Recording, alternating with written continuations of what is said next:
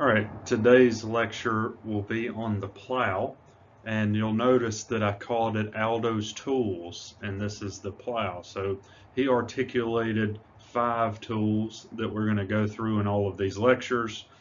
It would definitely be wise of you to be able to name or select those tools from the list.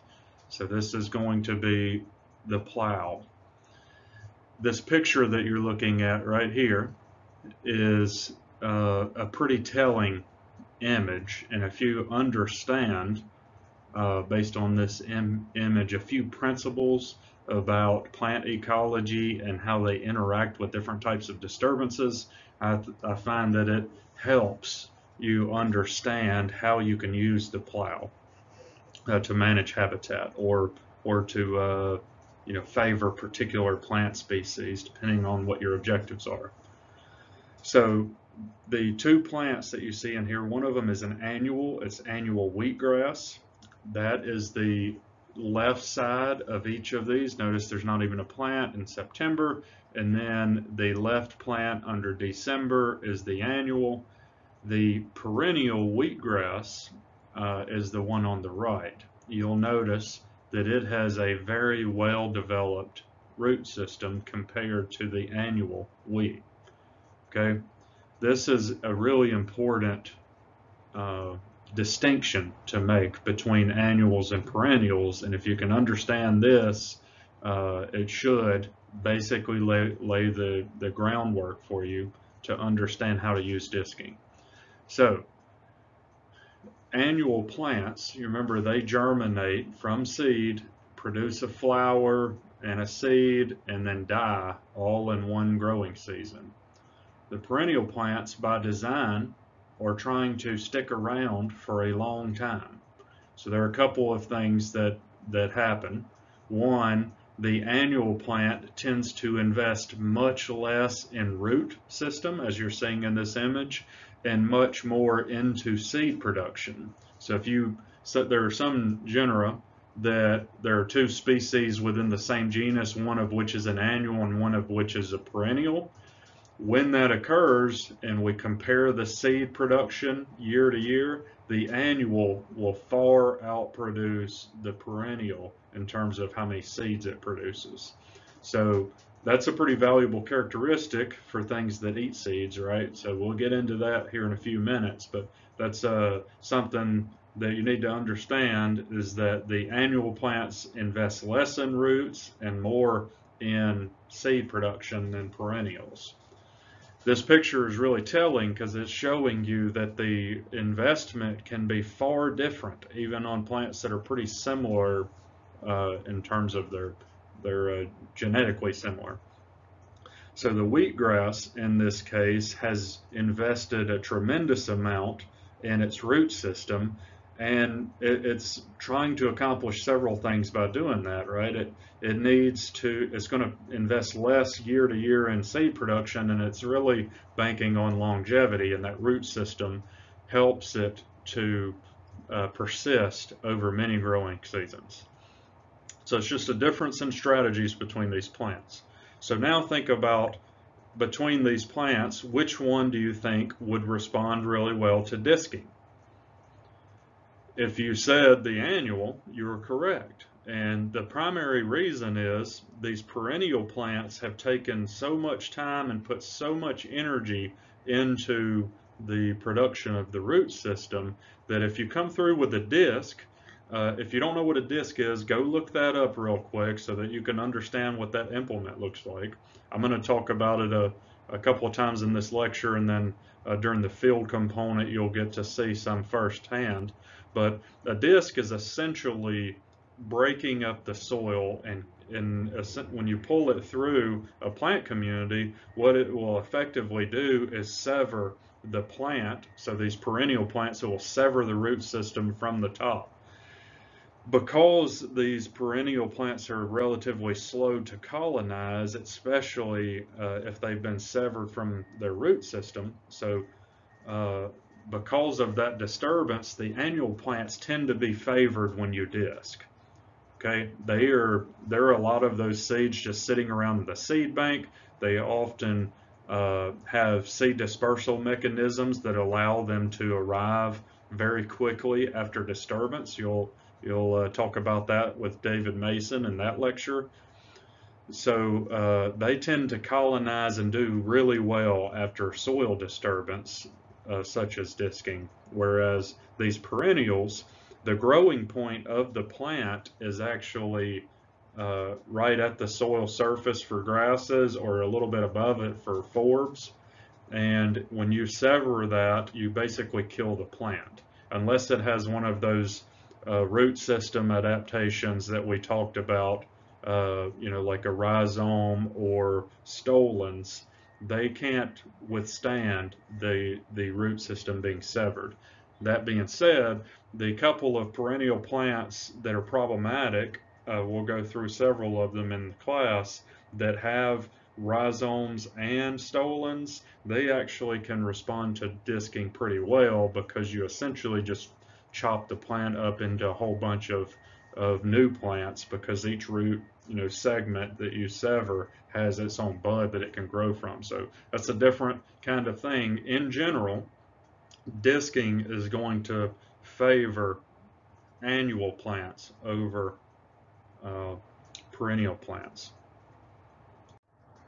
Okay, so you've heard me talk about early succession quite a bit and old field communities quite a bit so far.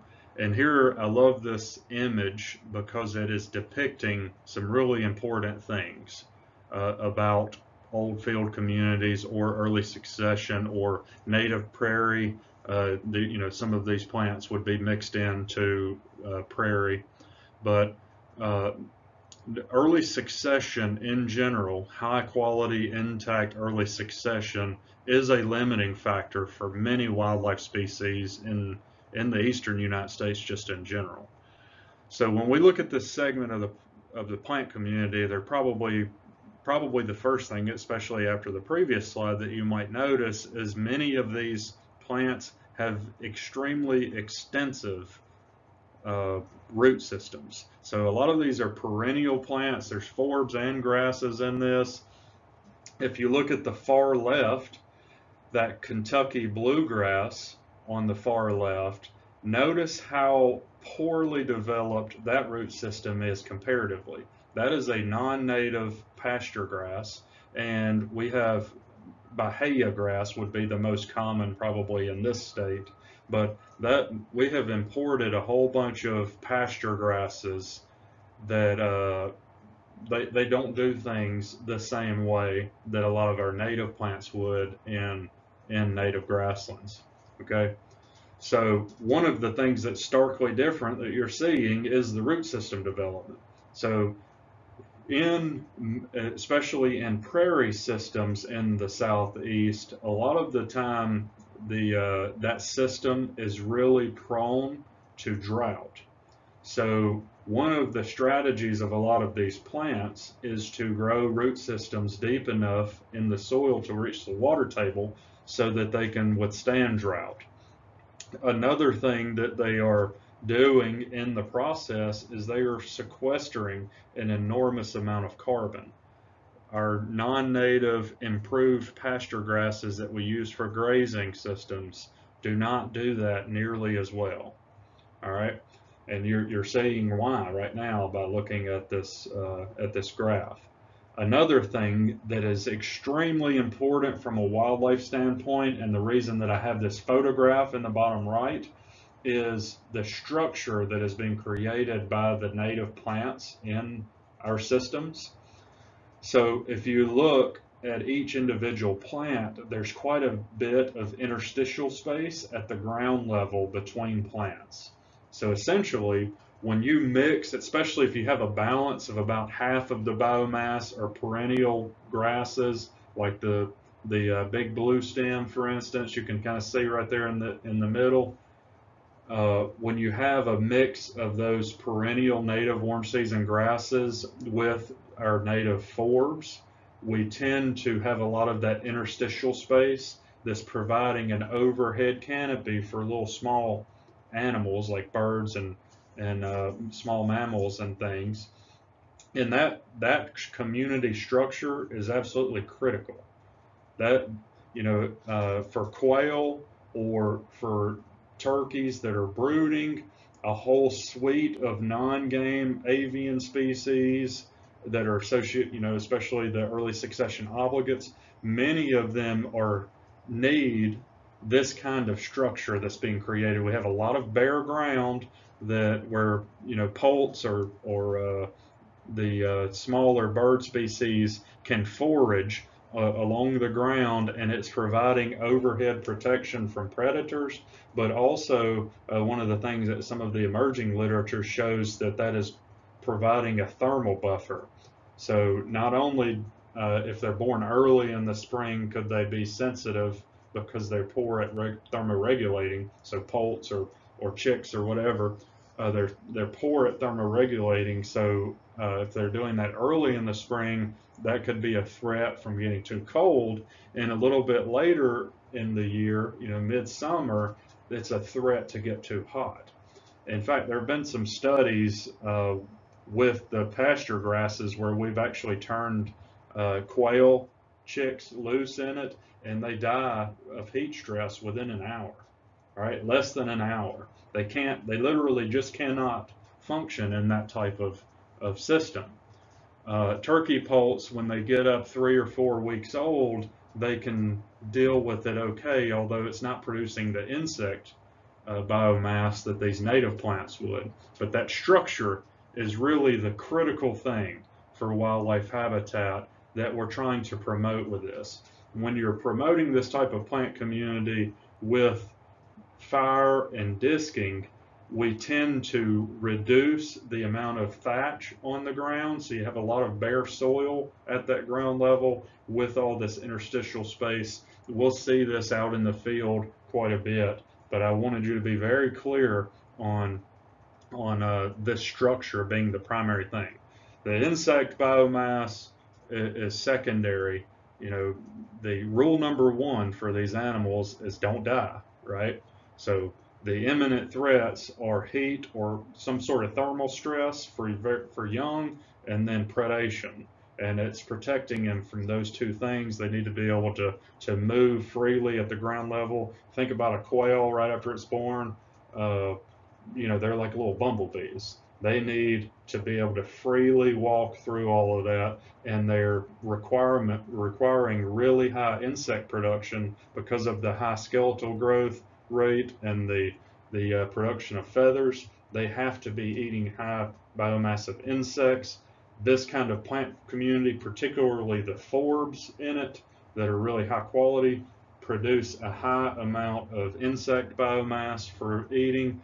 Uh, the other thing is the forbs are primarily driving the fruit and seed production that are being eaten by a lot of these species. So the forbs really are providing the food and some of the overhead cover, and the grass is providing some of the overhead cover uh, and maybe providing some of the nesting material if there, you know, some species will nest at the base of them. A quail do that. A couple of songbirds will use the, the uh, grass for that. And then the grass is also extremely flammable, so it promotes fire moving through the system. All right. So I know I've been talking about fire a lot, and that's because it was one of the natural disturbances that was an important part of this. And I'm about to show you how that actually interacted with the thing that was like disking. So, but first I want you to think about in this system, what which plants would you expect to respond well to disking?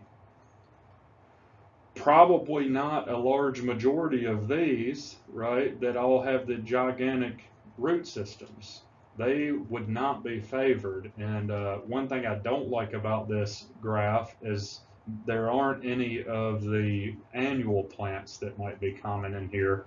Uh, the closest one would be that purple, purple coneflower in the center.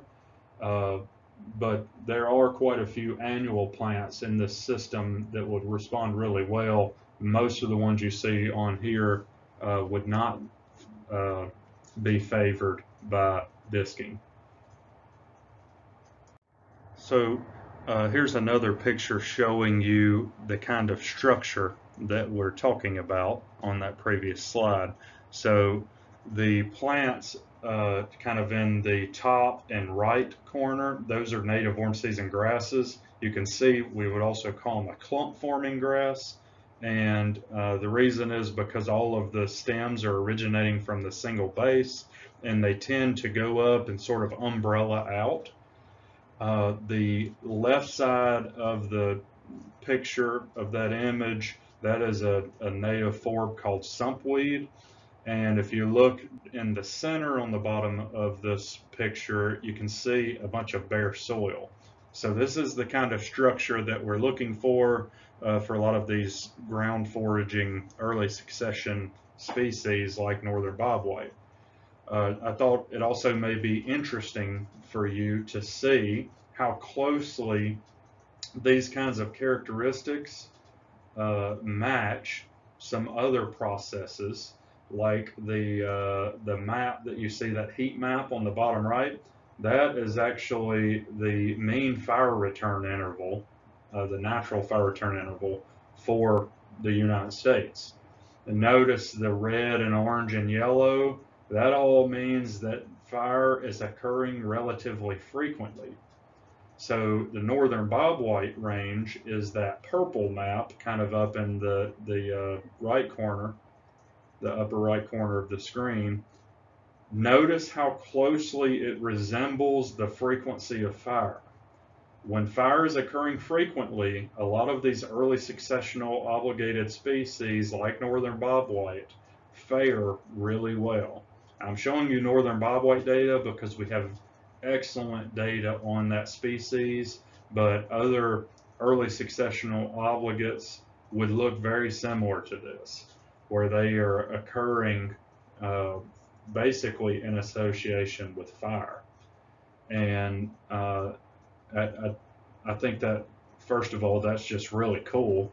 But second of all, uh, it shows you how important that process is. And one of the reasons that we're focusing so much on fire in this, I mean, this lecture literally is supposed to be about disking, and I'm still having to focus on fire to show you these relationships as a part of it.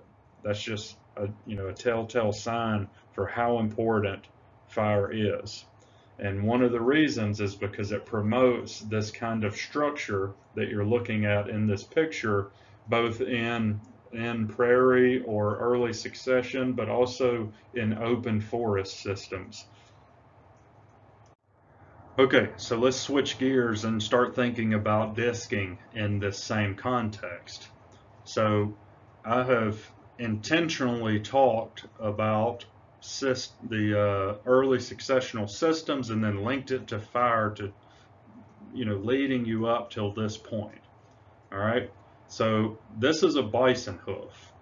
And I just want you to look at the hard angle on it. It's fundamentally different from a cow's hoof, which many of you may have seen, or or a horse. Uh, they're, you know, those are more flat. The, the bison has a really hard, harsh angle on that. All right. So they're essentially a one ton lawnmower, right? They're eating plant biomass, running around on four shovels, and they're turning all of that nutrient, all of those plants into nutrients and then spreading it out the other end, right, as fertilizer. So think about that for a minute. We have this one ton animal. They are usually traveling in huge herds, or they did back in the day when there were a lot of them. So we'd have this huge herd of herbivores running around churning up the soil. Another thing that was really important about their interaction uh, with the landscape is they follow fire. Okay, so think about why that might be. So uh, this bottom right graph here is uh, pretty important as well. If you look at the distribution of fire, the white bars are when fires actually get ignited by lightning. So this is actual data from across the, the uh, eastern United States those are actual fires over the last 30 years that were ignited by lightning. Notice that it peaks in May, starts peaking in May really peaks in June and July. That's the top of it. And then we still have a fair amount in August, but then the number of fires drops off precipitously and stays pretty low throughout the winter months. For Florida specifically, if you start going down in, into central and southern Florida, a lot of the fire would it, it would probably shift the May bar up a little bit and the July bar down a little bit just because of the rainfall patterns, but it's still pretty similar to this. Now look at the gray bars. That is when humans like to light fire. These are actually prescribed fires where people went out and used it to manage uh, plant communities. And they may have had different objectives. A lot of times we're lighting it to reduce fuel, but you may uh, have also added or uh, used fire to manage wildlife habitat, or they may be doing some combination of those things or, or a variety of other things. But the big point here is if you mathematically try to compare those curves, they're almost as far different as they can be mathematically. We don't like to light fire, even prescribed fire, when we're trying to manage ecosystems and mimic lightning fire we still mismatch that intentionally. And there's a variety of reasons. We'll discuss this a lot in, in uh, the discussions. Uh, there's a lot of reasons why we might do that, but uh, there's some pretty important implications of this. So let's go back to the bison. We've got this, this gigantic herbivore running around with shovels that's going to churn up the ground and they follow fire. Historically, that fire would have occurred mostly in the midsummer, not all of it, but a lot of it would have occurred in the midsummer. So you have fire happen. Remember all of those perennial plants that were associated with the grasslands. So they have this really well adapted root system to withstand being top killed by fire. So you remember how I told you the, the growing point of the plants were kind of right there at the ground level. They're protected pretty well from fire and fire will just top kill the plant and then it will use all of that carbon that's being stored in its roots and put it back into growth and resprout and it does really well. It, that's a great adaptations for it.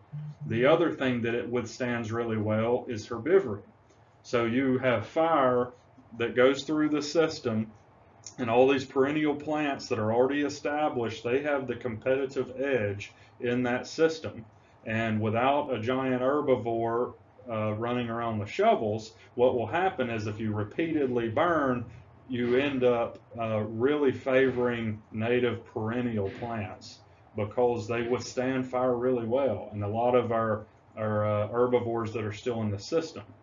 But when bison were in the system, it was a, it kind of shifted favor a little bit because of this hoof action. All right. So essentially, we have this giant herbivore that was following fire. The fire would uh, basically remove the biomass and all of those resprouting plants. They actually are very high quality. The, the quality of that forage is substantial compared to the same plant if it had not been burned.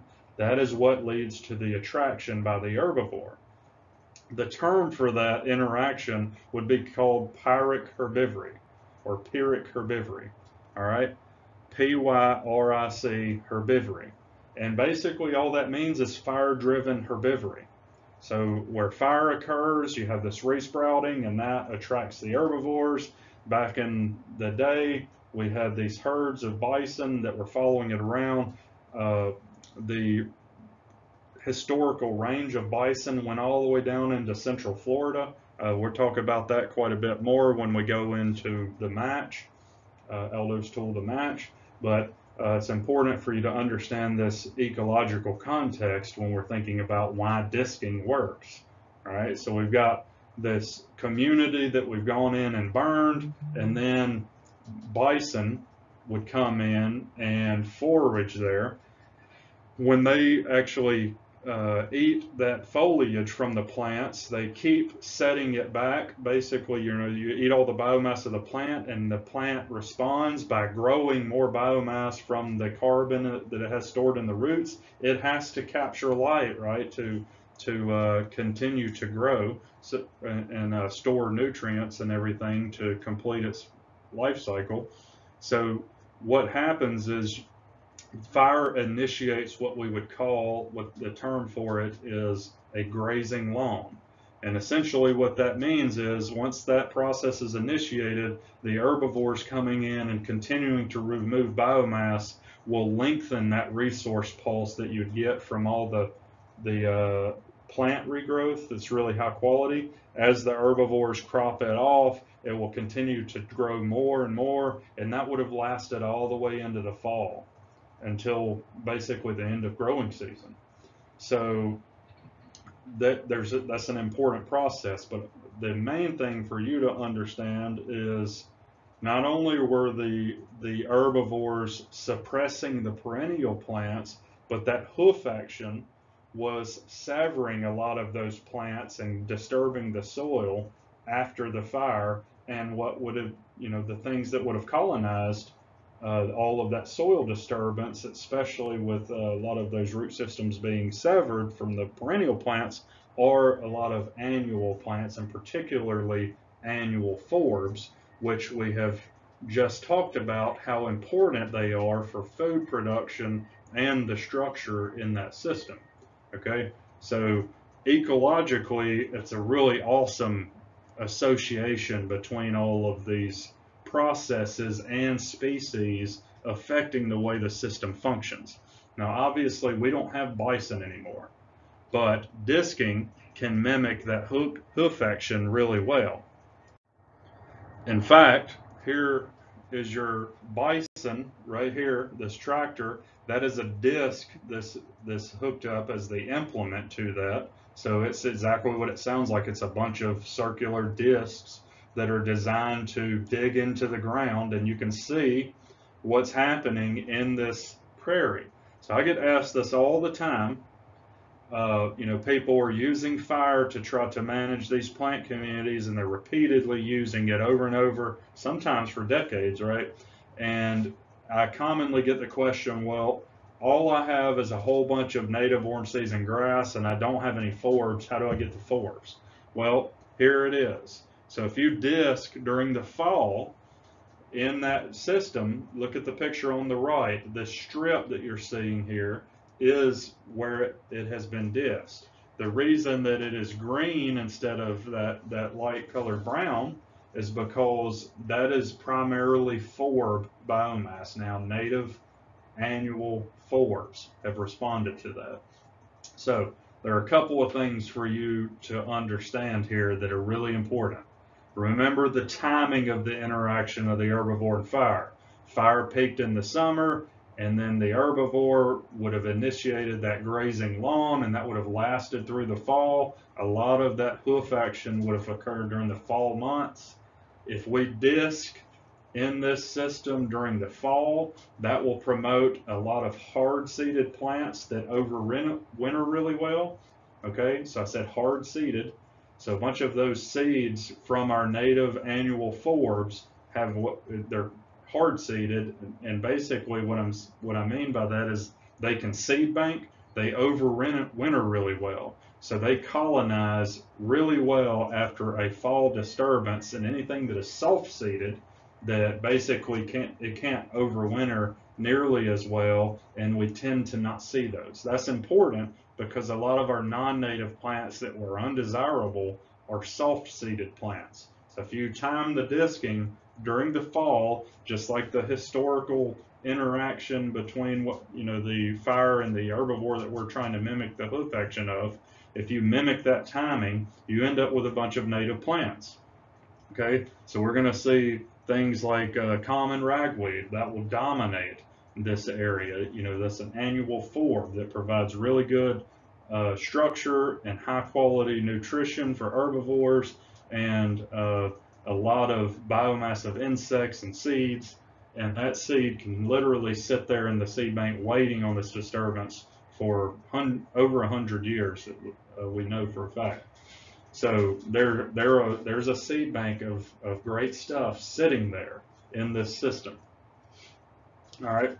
Another thing that it's a good opportunity to talk about is notice how they we have this narrow strip here.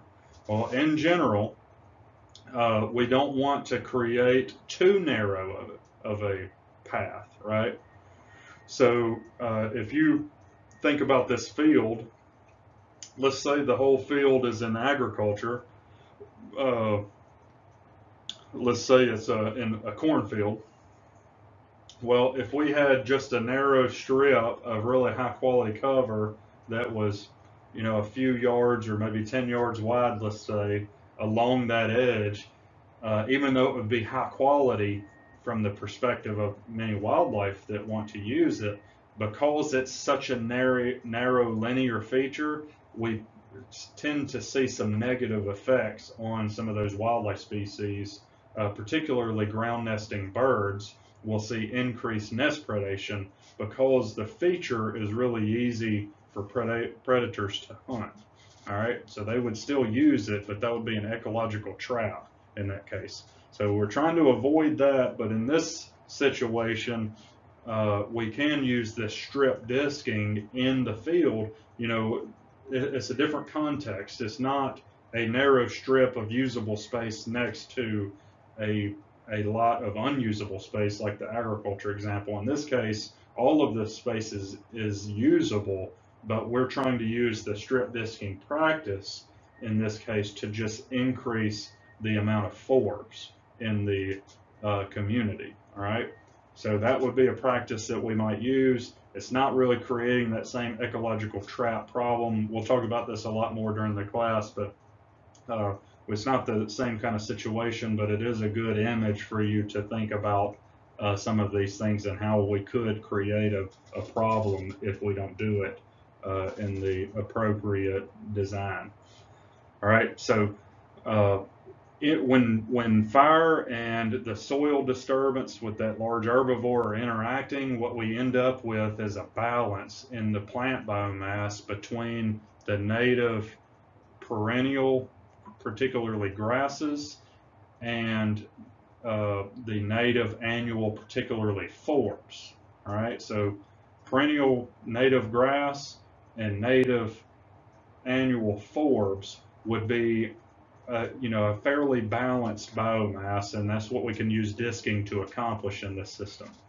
All right, so we're going to talk a little bit about using disc in wetland systems as well, because that's a, another important practice that we use really commonly. But I want you to be very clear uh, that we're trying to do slightly different things based on the targeted suite of species that we that we're trying to promote.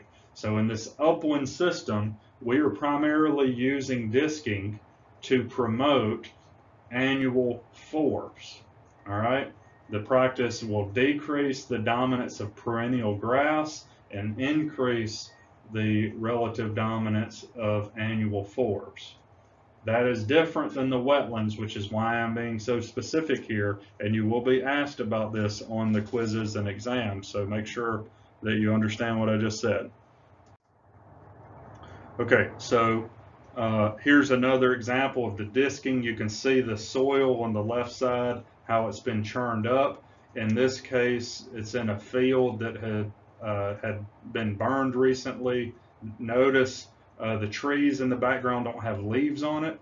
And I wanted to show you this for a couple of reasons. One, uh, it shows you, it kind of gives you a mental image of how it's breaking up the soil. But two, uh, this is already, you know, really late in the year, It's probably November or December, when a lot of the plants have already gone dormant. All right, if you look on the picture on the right, you can see that disc strip. That plant that is in there, uh, in that disc strip, that is actually common ragweed, just like I was talking about a few minutes ago. We've increased the relative dominance of the annual forb, in this case, uh, that one, that's not the only one, but that just happens to be what's dominating this image. Uh, but that's how we have increased the forb production in that grassland. Now, obviously, uh, we we probably didn't make a very big impact in this particular case because it's just one strip, but it shows you what I'm talking about by increasing the the prevalence of that annual. Another thing that's important about this is the disking, you know, you'd want to target it in the fall, but as long as there's a a few week period before green up and you know the longer the better. But as long as there is a a period of dormant season where plants aren't yet actively growing the disking will promote the uh, the native plants primarily.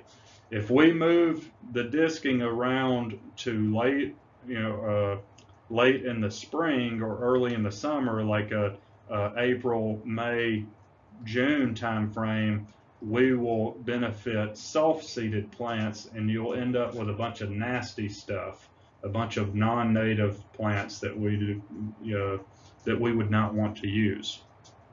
All right, another thing that's really important about this, that this practice can be controversial.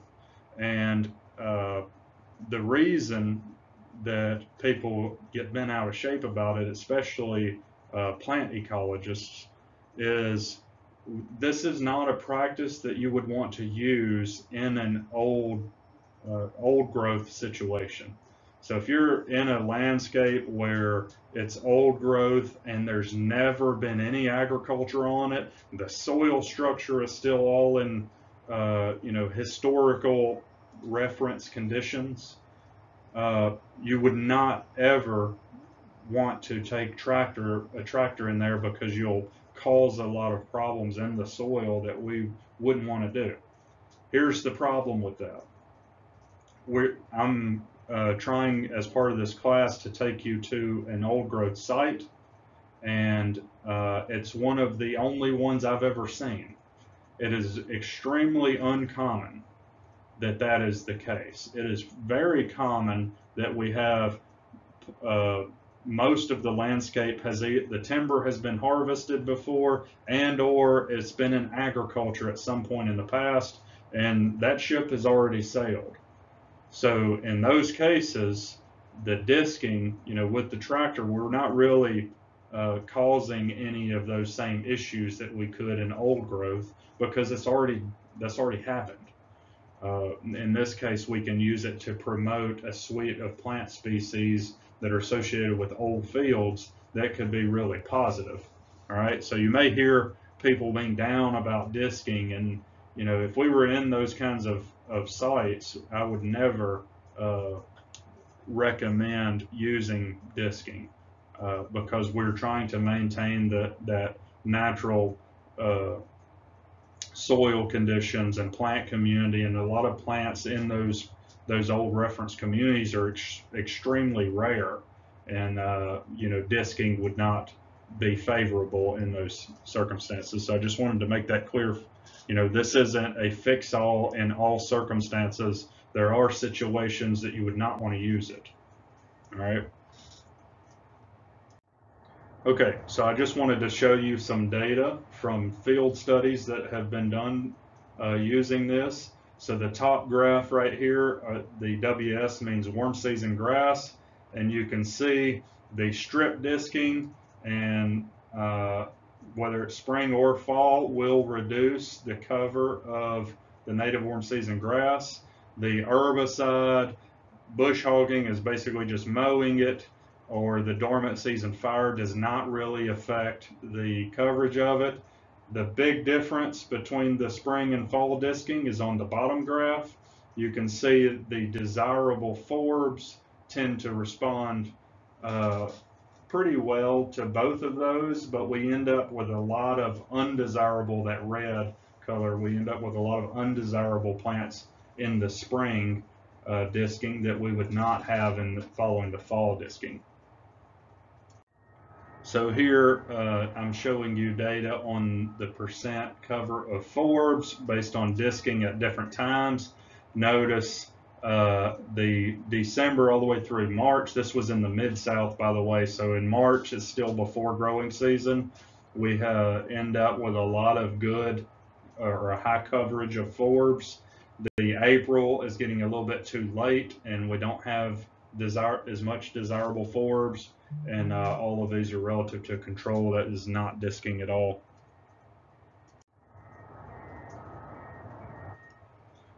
Okay, so here it's just showing you the uh, undesirable warm season grasses. Again, the disking in the late time of the year increases the uh, prevalence of those species. Here showing you just an image of that. The plant on the right, the red that's sticking up, that is a non-native grass that's called Johnson grass. And it is one that is, it's a perennial, but it is favored particularly by that, that early spring uh, disking.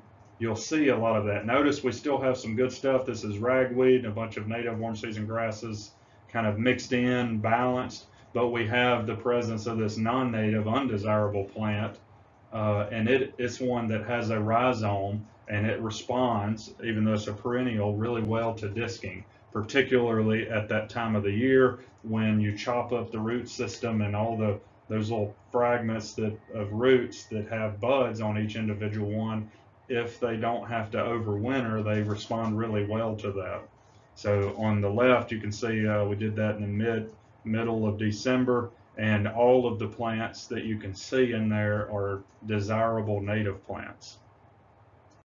All right, so let's switch gears a little bit and talk about some moist soil uh, disking.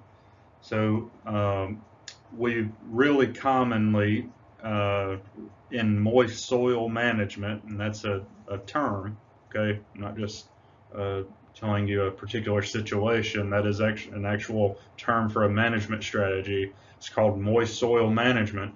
And uh, we do this pretty commonly where we're managing water levels for waterfowl and uh, a, a, lot of different water birds that, that will be associated with that. But particularly for waterfowl that are uh, being hunted, we would implement disking in a wetland that we're managing the water in to promote some plants and uh, the, you know a bunch of these uh, grasses that you're seeing on the screen here, or grass-like in the case of the chufa.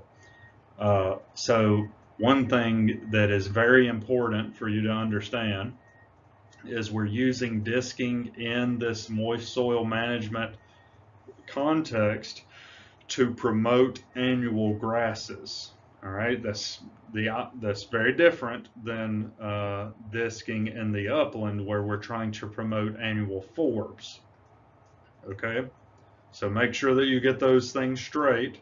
In the moist soil, the bottomland situation, we are targeting waterfowl which eat seeds from annual grasses and particularly uh, the annual grasses because they produce such high volumes of high quality seeds, right? Relative to perennial grasses, they produce far more seed.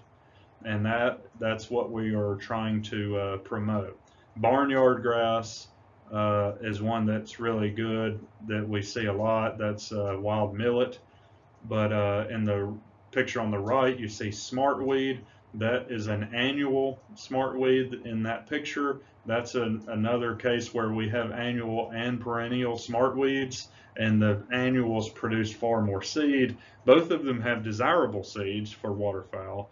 It's just the annuals produce so, much so much more because they invest in seed production rather than uh, root production. The panic grass in the bottom right, you can see that the seeds are kind of wispy, right? They're, they're tiny little seeds, but it's producing so many that, uh, that, that they're really valuable for waterfowl. Okay, so in, with disking, in both cases, we are trying to promote annuals and discourage perennials. But in the wetlands, we want grasses, annual grasses, whereas the the uh, up ones we want annual forbs. That's what we're trying to promote with disking. All right, so I just uh, I, I, see this confuse people on the the test questions pretty commonly. So I'm just trying to be very explicit to you on on what we're trying to accomplish here. So these are all good ones. It'd be a good idea if you could name a couple of, of uh, these desirable. Some of the undesirable plants that you might get in the moist soil uh, situation would be these on the uh, screen now. These are, are uh, undesirable for a variety of reasons. One, they don't produce much seed. That the in the case of the sickle pod, that one's actually a really important plant because it is a legume and it has a toxin associated with it that the sickle pod does. And because it's a legume, it's actually really important in agriculture for soybeans because it has a secondary plant compound, and uh, you should probably be able to pick this out of a lineup. It is called anthraquinone. All right, anthraquinone. So look that up. Uh, sickle pod has that in it, and it is toxic to people.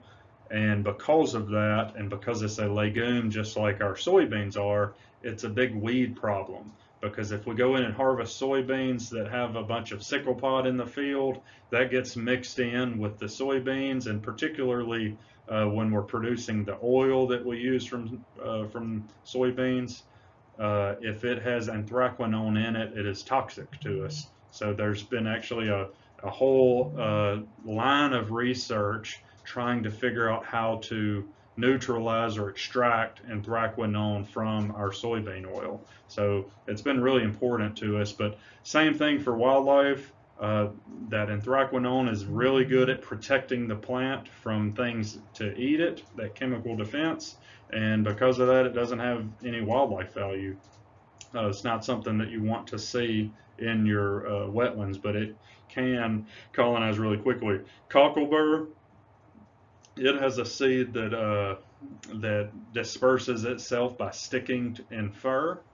So uh, you should probably know what that dispersal strategy is after you watch David Mason's presentation, but uh, it's really annoying if you've uh, ever been in a wetland and you got these stuck all over you. They're very annoying, uh, but it also doesn't have much wildlife value there there isn't anything that eats that seed anymore. There there actually is an extinct species that used to eat it, but uh, in particular, these weeds and particularly cocklebur become a problem either when you're not disking at the right time or when the water levels are being managed incorrectly.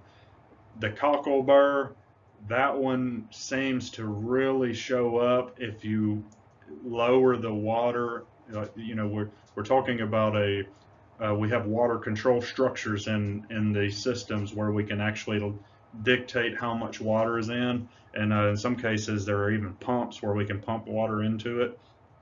But uh, so if we let the water out of the system really quickly, then uh, we tend to end up with stuff we don't like, especially cocklebur.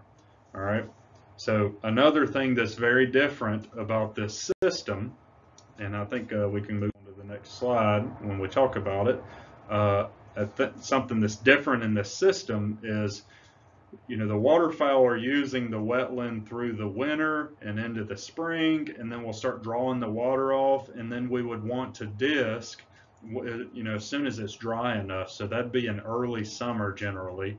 Uh, may vary a month or two depending on where you're at, but that you know we're not waiting till the fall, and the reason is we're trying to promote seed production in a bunch of these annual plants, and they need time to get to seed, right? So in this wetland, uh, you know, as soon as it's dry enough, we would disc, and then, uh, you know, before we flood it, we would want, you know, at least eight to 10 weeks and probably even a little bit longer before we would uh, allow water to flood the system again. So we're, you know, we're thinking early summer, and then we're going to start flooding it again maybe in in September, October. You know, uh, quite a uh, quite a bit of time has elapsed, and plenty of time for many of these plants to to go to seed.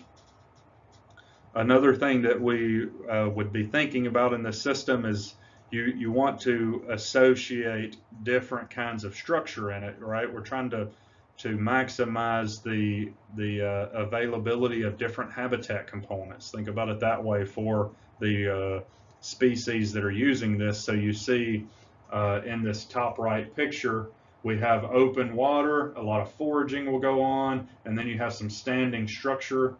Uh, they're kind of in the background, and that is providing really good loafing cover and protection and uh, you know you want those things juxtaposed so the waterfowl can use that. We can accomplish that by rotating disking in the system.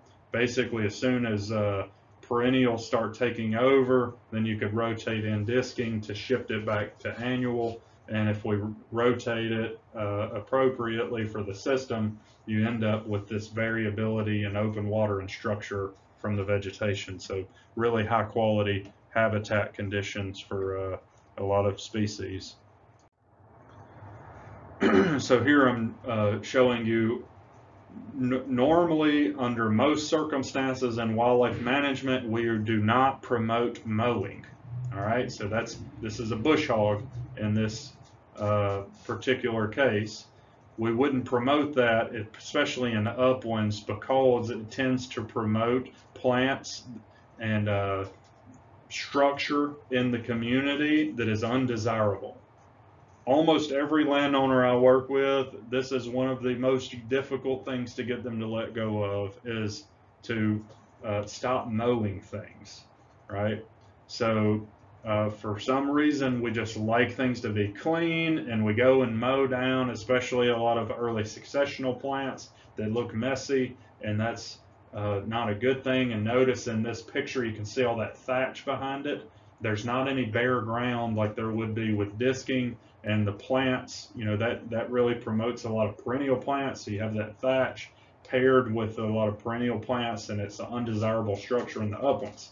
However, this is in a wetland and we can use disking to create some of that open water and make a lot of the seed available like you're seeing in the bottom left in this picture. So this is a time where the, the mowing may be okay and could promote some things that you're trying to accomplish in the, the moist soil ma management system.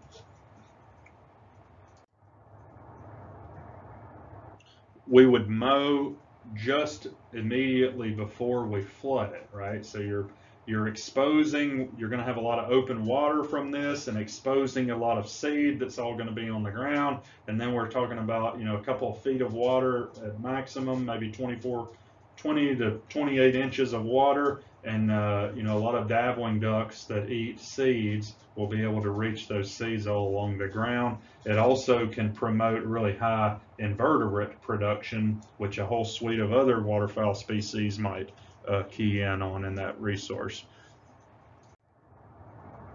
So uh, again, it's really important for us to think about how to design things and uh, particularly if you're using disking and removing a lot of the root systems that are holding soil, we might want to do that in you know, uh, particular ways based on the contour of the land to try to minimize any erosion or anything. Uh, you can see some, some designs uh, on the bottom left, for instance, where we are trying to increase heterogeneity in the plant community. Uh, these are all important practices trying to increase diversity and structure of the plant community, uh, which enhances wildlife habitat for a suite of species, uh, particularly species that are uh, of conservation concern.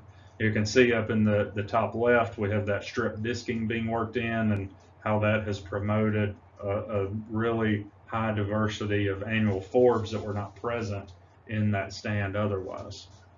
All right, so uh, make sure that you understand when we would use disking during the year and what we're trying to promote in the uplands and the bottomlands. Remember, we're always trying, we're using it to promote annual plants and you know annual forbs in the upland and annual grasses in the moist soil management context.